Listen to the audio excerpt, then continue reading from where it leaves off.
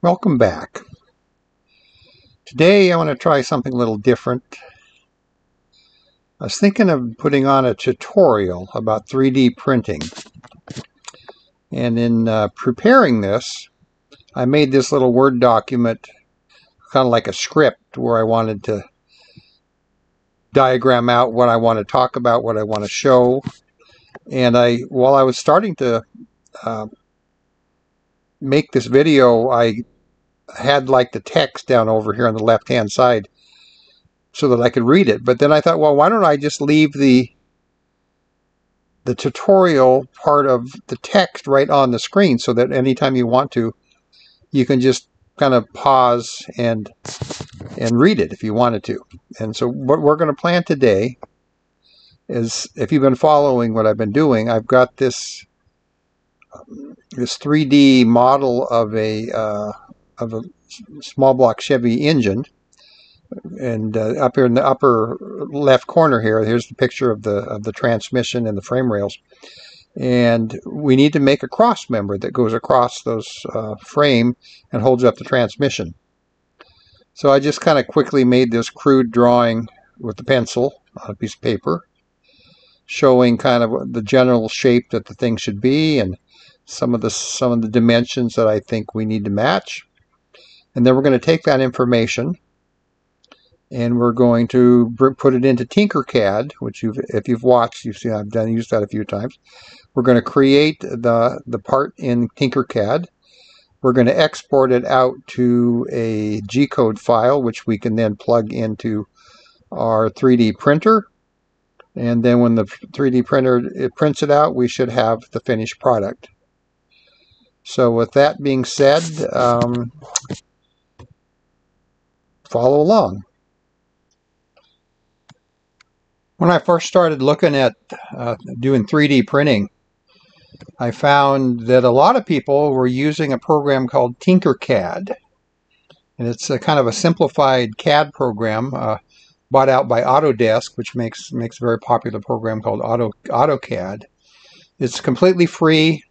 It's web-based. You don't have to install anything on your pro, on your computer. You go to tinkercad.com, and I, I think you got to register, put your name in. But I'm just going to show you some basic uh, blocks. I'm going to do a create, create 3D design. And this is how it starts out. You got a blank work plane. That's what that big blue grid is. And we've got some basic shapes over on the side. the basic building blocks, here's a red solid block. We'll bring in a transparent block. And this is kind of the basic of all CAD work, I guess, or design work using uh, Tinkercad, uh, using this program. And this, uh, I'm going to resize this, make it a little bigger, just, just for fun. You can kind of stretch the corners like this. And if I intersect the transparent block onto the solid block, this is the basic way of cutting and shaping. And then I combine these into a single entity. I'll select them both, do the group or combined effort, bing. So that's how you cut out that piece with that solid piece. Let's bring in another one. Here is a cylinder. And this cylinder is transparent also. And I'm going to resize this a little bit, make it a little smaller make it a little bit taller. And I can put it into here. If I want to drill a hole through this block, you would just get this cylinder placed in the right spot you want. So I wanted to center it along this way. I click them both. I can use click align and I want to center it. Now there it is. It's centered along this plane or along this, this edge right here. Now we'll combine these together. There you have. Now you have a hole through this block.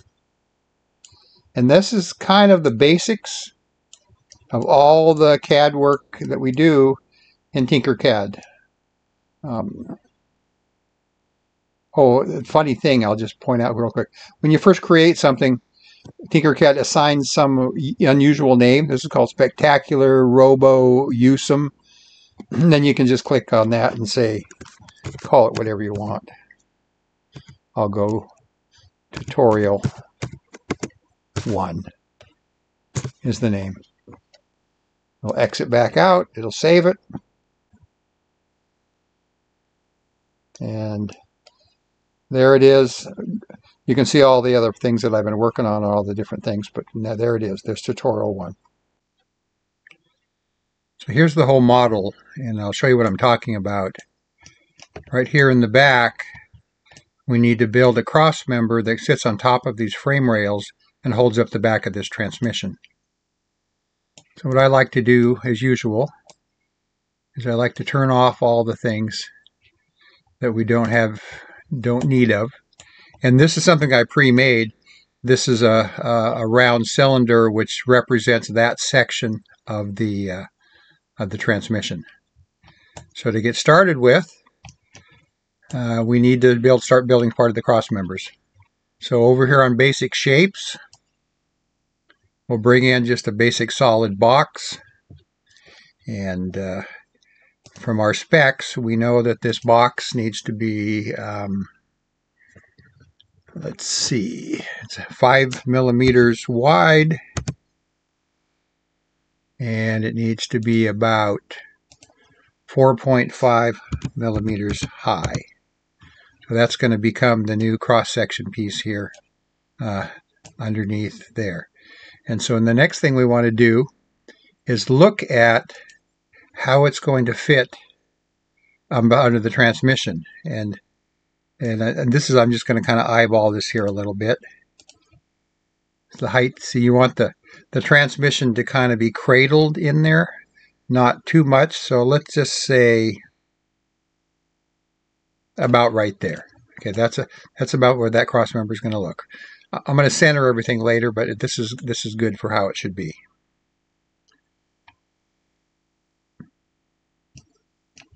And we'll duplicate that and bring another piece over here to the side. And this piece here is going to be the flange that sits on top of the frame. And that we want to be uh, let's say two millimeters high and about maybe three millimeters long. So this little piece right here we're going to set on top of the frame. And to put it on top of the frame, we set the workplace to the top surface, click on the object, hit D, which brings it up there, and then it's going to be over there on top here somewhere, and then we can do a perfectly aligned by selecting both of those objects and we want to align it with the edge over on there. So select them both. I use the align function, so we want to align with this frame member on this edge. There it is. Actually, that was a mistake. Do that again. Align, we're going to align with this edge. So this is the top edge of that flange right there.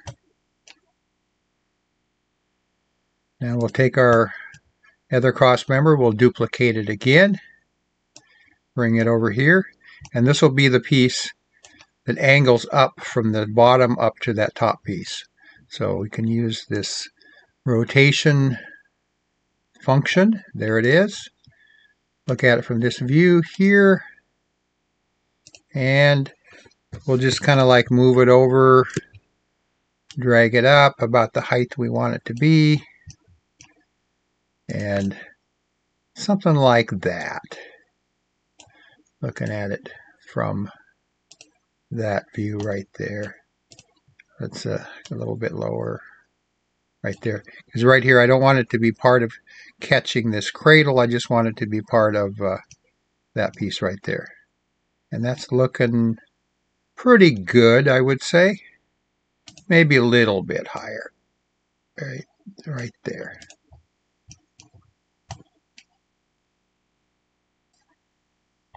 Now, oh, just for fun, i am going to do an alignment. Right now, these things are all kind of mishmashed, different places. Let me uh, say we're going to try it with those pieces, that one, that one. Let's do an align around the cylinder and we'll center them. So now it's starting to look like pieces of a uh, of a cross member. And the next step is we need to be able to cut off this top flange that's sticking up here. So once again, we'll set the set the work plane to the top of that. We'll duplicate that block, bring it up to there, change it to transparent. So now it's kind of like it's going to be a cutting edge. And then I'll just kind of stretch it out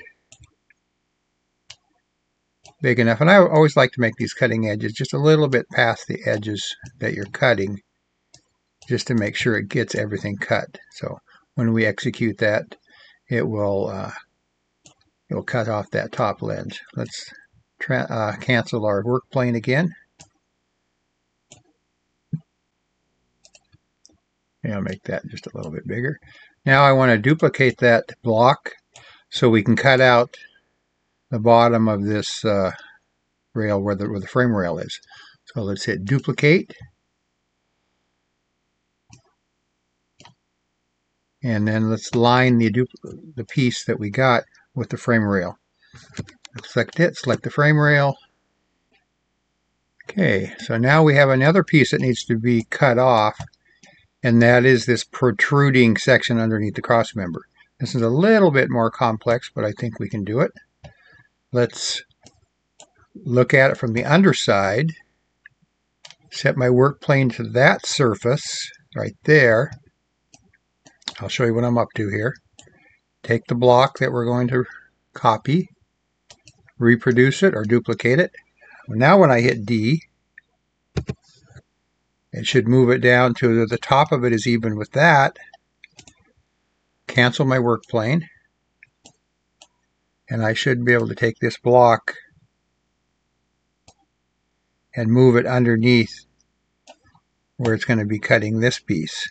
So if you look at it from different views, you can see what I'm talking about. So, okay, so there, looking like it will cut that like that. I can always look at it from left view, which forces it to look at it on straight. So now, now with all the, the cutting objects where they need to be for cutting off this bottom protrusion, for cutting off this little piece sticking up, and for notching it out for the frame, we're ready to select all those items and combine them. So there's the bottom cutting block. There's the main cross member. Top cutting block this little red piece here, that this flange, and this uh, frame cutting block. So if we combine all those pieces now, it should make the piece we need. Group. There it is.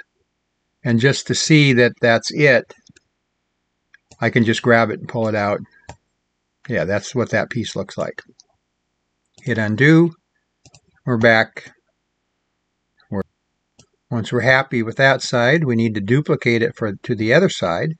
So we'll click on it, hit duplicate, hit mirror, and then it's asking me whether I want to mirror in what direction, and I'll say horizontal. There it is right there, and that's the, what that piece looks like right there. We'll take the piece that we just made, select the frame rail, hit the align function, tell it we're going to align it with this frame rail, hit that button right there. So now the outside edge is aligned and we can see now we're getting more and more parts of it. The other part now is this bottom part of the cross member.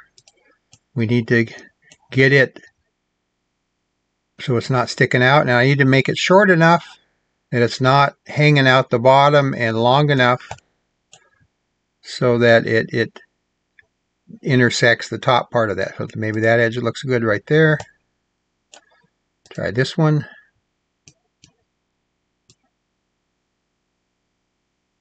Maybe right there. And if we're happy with that, we can select all three of those pieces, do a group, and there looks like a cross member. Drag it out here to take a look at it. That looks like all one piece. Hit undo and we're back to there. With the cross member built, now we're ready to notch it out for the saddle for the uh, transmission. And here's the barrel representing that piece. In this case, we're going to turn it to transparent. That way it will become a cutting edge.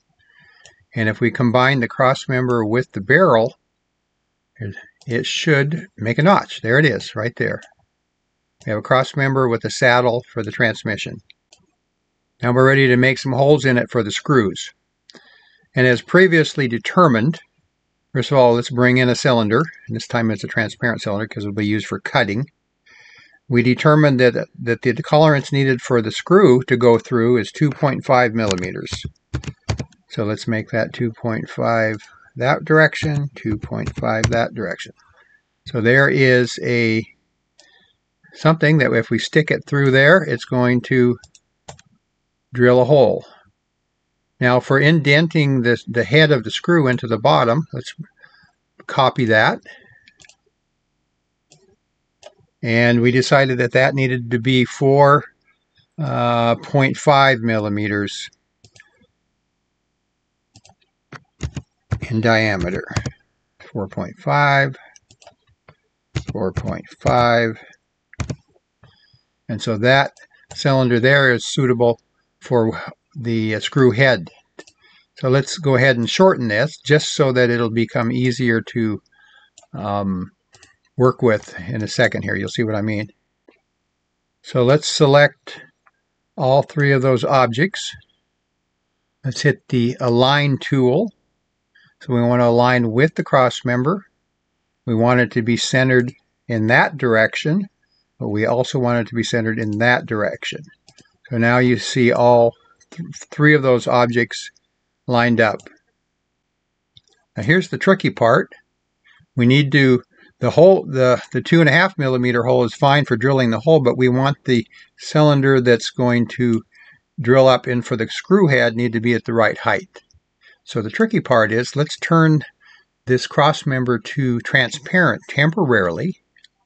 Look at the left view, it zooms it right in here, and that we can now select this cylinder here and we can make it longer or shorter. So here's missing it, here's cutting all the way through it, and we'll just kind of estimate this. In this case, I'm going to go like three, four, maybe about half a millimeter uh, I don't want to go too far because I don't want to weaken the cross member, but that looks like about where I'd want it to be.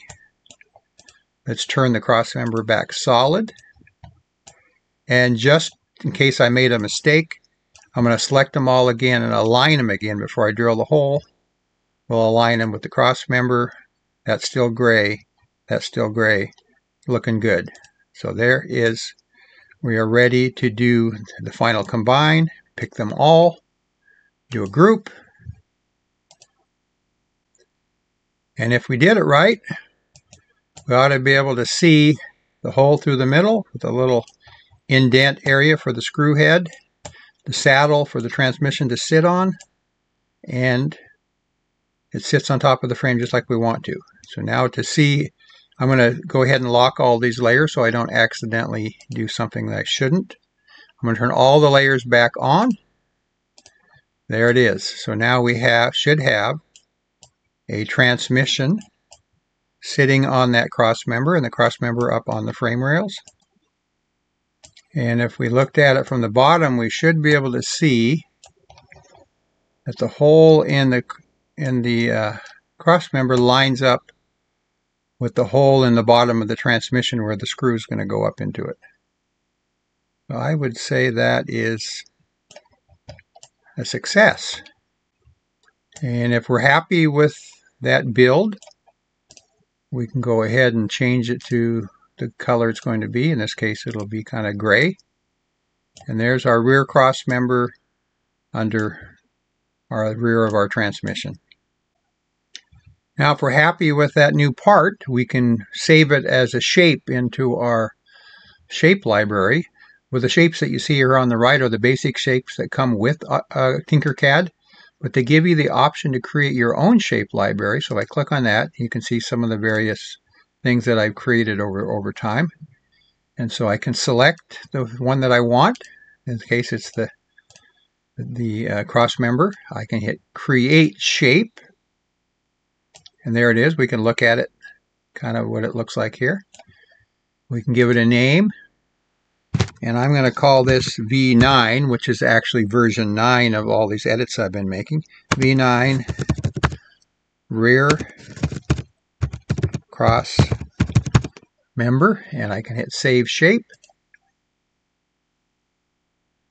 and there it is so in the future if you ever want to use that shape for something else you can go to your library you can grab it off of the library and you can bring it in and there it is use it for whatever you need to use it for I'll go ahead and delete that so now we need to prepare this new part to send to our 3D printer. I'm going to select the part. In this case, I'm going to duplicate it, bring it out here. And when you're printing on a 3D printer, it prints on one slice at a time.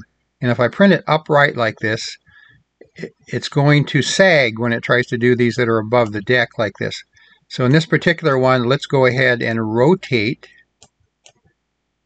this object 90 degrees.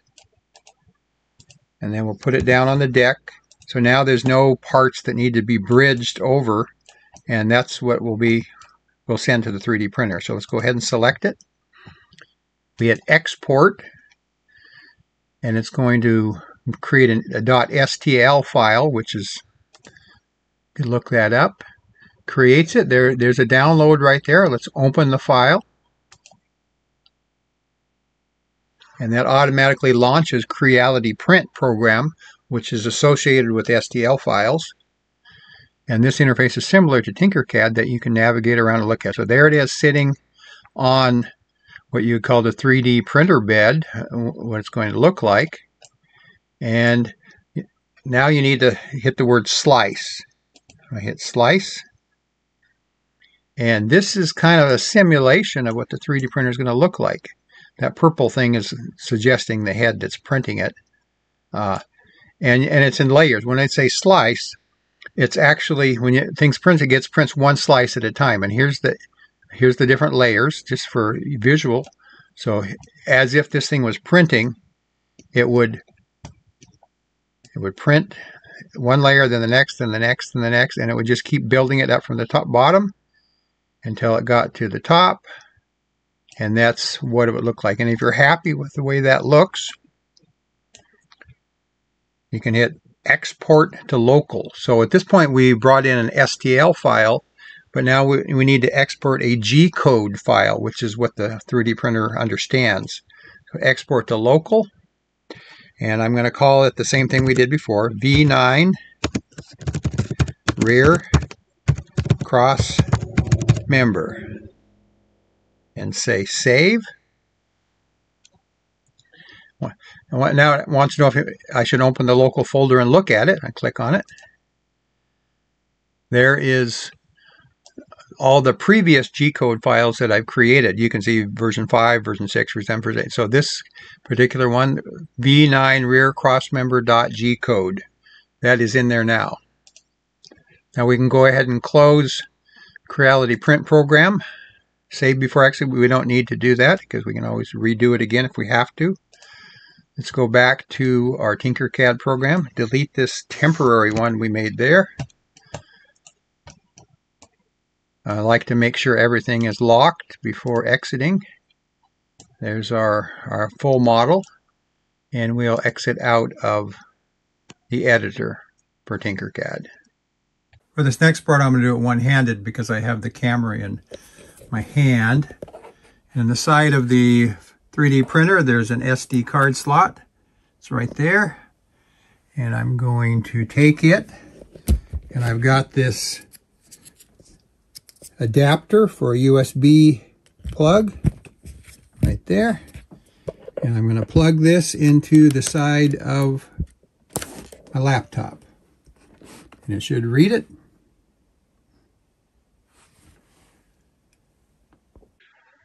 And then I've got my my laptop so it automatically launches the, the, the Explorer window when the USB card is pulled in.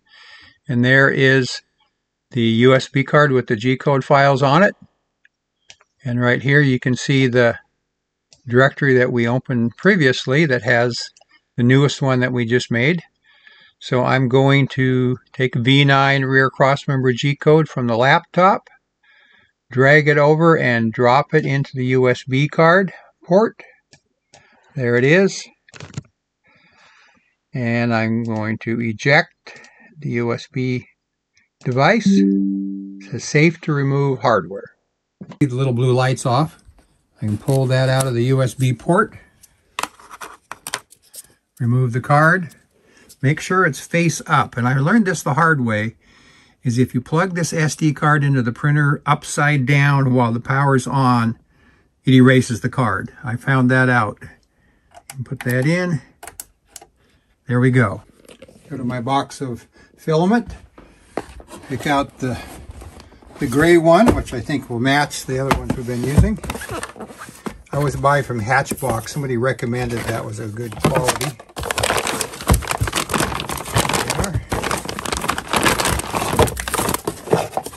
There's the this new spool. Whenever you put away a roll of filament, you usually uh, end up poking it through this little keeper here on each side to kind of keep it from unspooling. And also, from the last time you used it, when you pulled it out of the printer, it usually is all melted on the end where it came out. So they recommend that you trim the end at 45 degrees with this tool, which came with the printer with the roll hanging up on the holder. I can get it started down here into the print head, push down this little clamp, push it all the way down to the bottom. Then with everything loaded, I'm ready to turn on the power switch.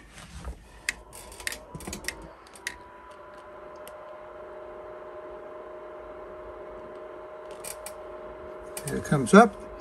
Hit the print menu. And we should be able to see there it is the rear cross member V9 rear cross member is right there. Hit print. Hit confirm and it'll start warming up the beds the heads I should say and before it starts printing it just verifies the the depth or the, uh, the height of the bed in a couple different spots.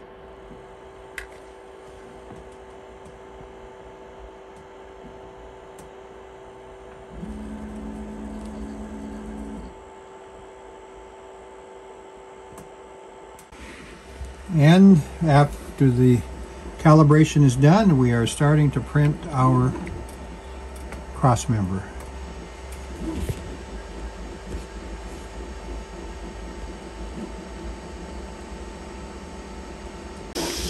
Looks like it's been about nine minutes and it looks like that is just finishing printing.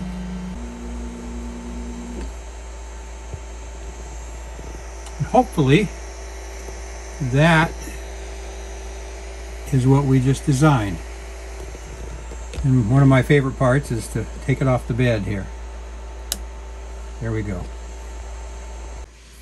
And if we did it right, that should be what we intended. So there's the finished product.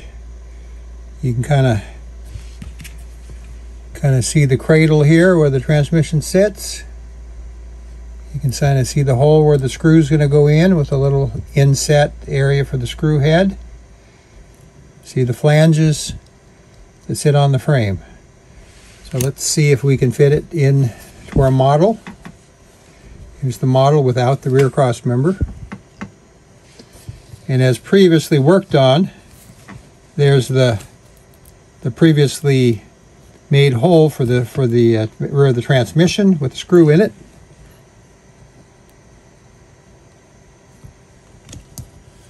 Should be able to start that screw in the bottom. It's going to kind of look like when it's in that hole. with the screw started, I can kind of put it in there.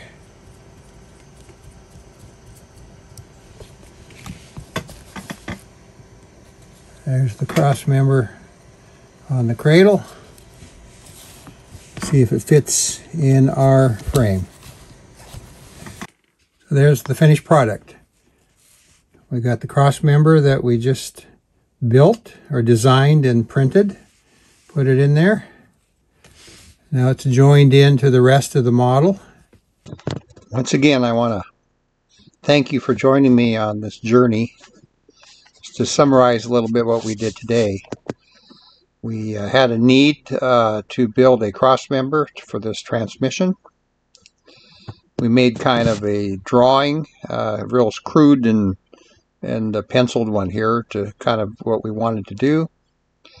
We went into the uh, Tinkercad program and uh, and built it. We sent it to our 3D printer.